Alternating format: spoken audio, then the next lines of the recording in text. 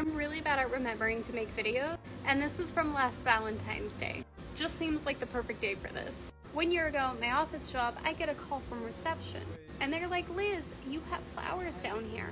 I'm like, oh my god, my boyfriend spoils me. Okay. I go down, these flowers are fucking gorgeous. I bring them back upstairs, go to text him thank you. I decide to read the card first, and I realize these are not for me. My office has over 200 employees, give or take. Of those 200 employees, there is only one other person with my name. We have offices all over the state. Not only is she in the same office as me, she's in the same section as me. We also have the same last initial, extra fun. Which makes it extra fun when clients call because they just ask for Liz and then they get sent to me and they're like, this is your client. And I'm like, no, you're not. So I bring the flowers to other Liz and she looks at them and goes, those are gorgeous, but I don't think those are for me. And I'm over there like, baby girl, these have your first and last name. Pretty sure they're yours. She tells me she has allergies and her husband's just not that kind of guy. And I'm like, well, these definitely aren't from my boyfriend.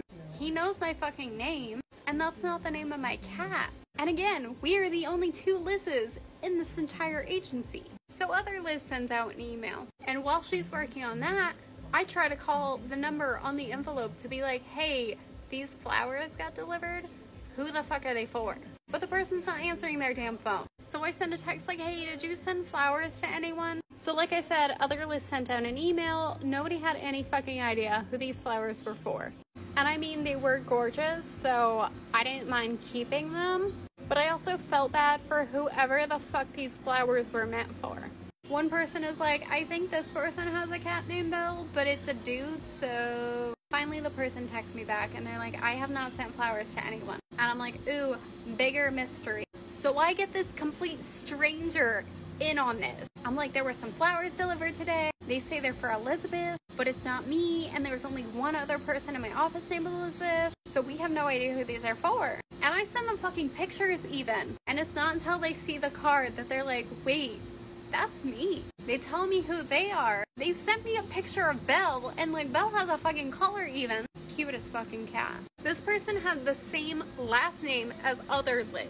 They are also an attorney, but for a different agency. Their first name is Sarah. So we think maybe when the florist put in the last name, it just popped up other Liz, and they were like, okay. Luckily, the person that these flowers did belong to has a friend that works in our office.